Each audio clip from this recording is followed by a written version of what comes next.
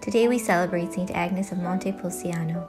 Agnes expressed a desire to give her life to God early on. Upon visiting one of the convents, Agnes and her mother were passing a house of ill repute when a flock of crows suddenly descended upon her, pecking and scratching the little girl.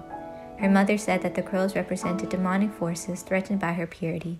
In her teens, Agnes joined the Franciscans and became its prioress. Small white flakes in the form of crosses fell gently from the heavens in celebration.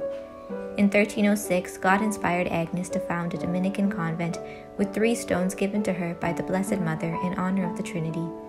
The Blessed Mother visited Agnes many times and on one occasion allowed her to hold the Christ child.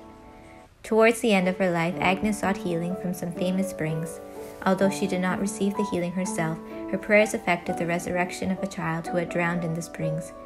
Agnes died in 1317.